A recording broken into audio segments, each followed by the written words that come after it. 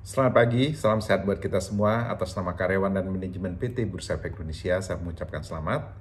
Atas penyertaan perdana saham PT Era, Geraha Realty Tbk, dan PT Bank Multi Arta Sentosa Tbk yang akan menjadi perusahaan tercatat masing-masing ke-22 dan ke-23 pada tahun 2021 ini. Ucapan selamat juga kami sampaikan kepada PT Yohobi Kahian Sekuritas dan PT BCA Sekuritas selaku penjamin pelaksana MIS Efek dan kepada lembaga dan profesi penunjang pasar modal yang telah mensupport IPO ini. Bursa akan senantiasa mensupport perseroan menjadi perusahaan dengan growth opportunity yang atraktif dan senantiasa memberikan shareholder value yang optimal. Bursa mengharapkan agar perusahaan tercatat dapat bertumbuh dan pada akhirnya perusahaan mampu berkontribusi bagi pertumbuhan perekonomian Indonesia. Semoga sukses menjadi bagian dari capital market ecosystem memulai journey sebagai perusahaan yang naik kelas. Bagi para entrepreneur di seluruh wilayah tanah air, saya mengencourage untuk menjadikan perusahaannya sebagai perusahaan tercatat di bursa sehingga dapat mengutilisasi eksistensi pasar modal Indonesia. Moto kami, jangan menunggu besar untuk go public, namun jadilah besar dengan go public. Mari berkarya untuk Indonesia tercinta, sukses dan maju terus pasar modal Indonesia.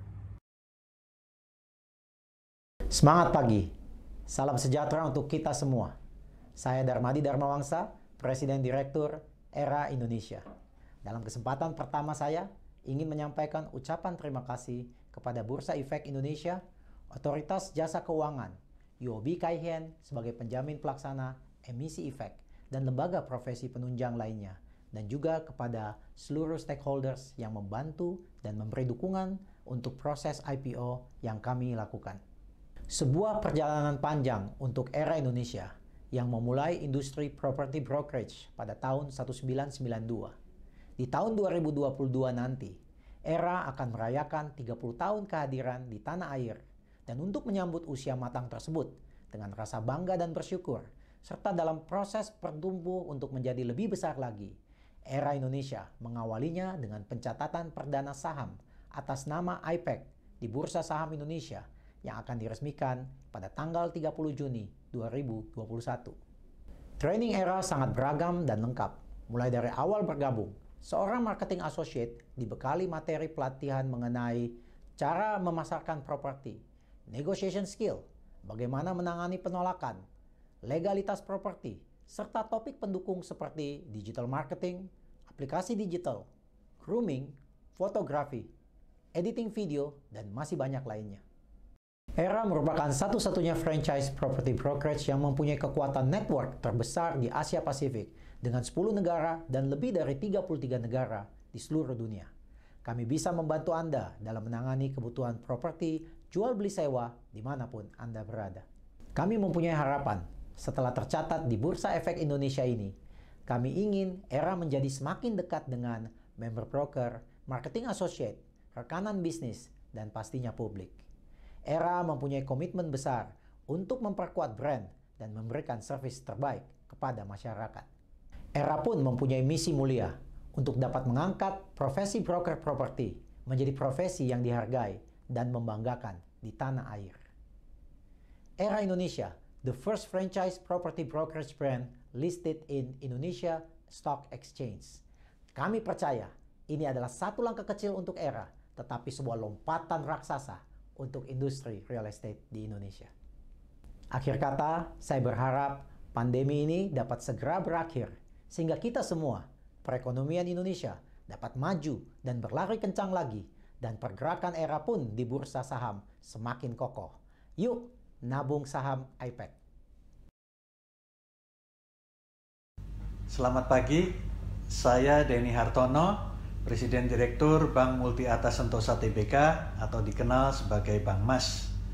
Pertama-tama kami mengucapkan syukur kepada Tuhan Yang Maha Kuasa. Hari ini Bank Mas telah menyelesaikan tahapan penawaran dan melakukan pencatatan saham perdana di Bursa Efek Indonesia.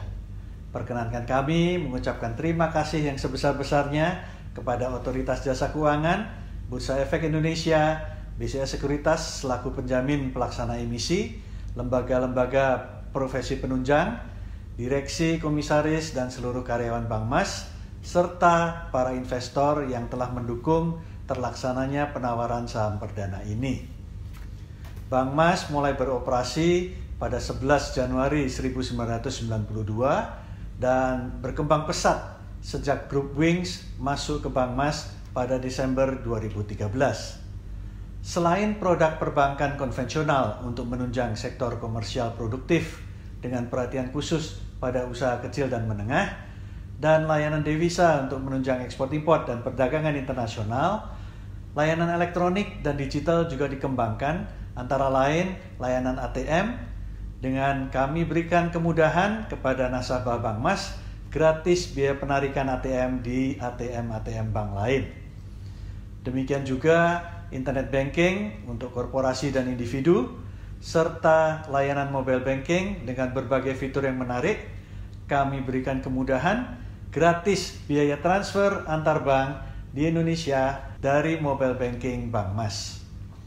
Ke depan, di samping menggalakkan penyaluran kredit guna mendukung sektor produktif di Indonesia, kami akan terus meningkatkan layanan digital banking kami memulai dengan layanan laku pandai untuk mendukung inklusivitas perbankan melalui agent banking, menyusul KRIS, QRIS, dan virtual account untuk memudahkan transaksi pembayaran, online onboarding untuk pembukaan rekening tanpa harus ke cabang, pinjaman online di mobile banking Bank Mas, dan Open Banking API untuk membuka kolaborasi dan konektivitas dengan berbagai institusi pengembangan digital Bank Mas memerlukan ekosistem yang baik. Kami akan mengembangkan ekosistem Group Wings yang luas melalui layanan-layanan digital banking. Pengembangan ekosistem ini juga akan kami terapkan pada grup nasabah-nasabah yang lain agar kami dapat secara lengkap melayani supply chain dalam ekosistem tersebut. Pertumbuhan Bank Mas dilandasi good corporate governance, risk management, dan internal control yang kuat untuk tumbuh dengan baik, sehat, dan memberikan hasil optimal bagi investor dan seluruh stakeholder. Akhir kata, kami mengundang masyarakat Indonesia, yuk nabung saham, khususnya saham Bank Mas, Bank Multi Atas Sentosa Tbk dengan kode MASB, M-A-S-B. Terima kasih, selamat pagi.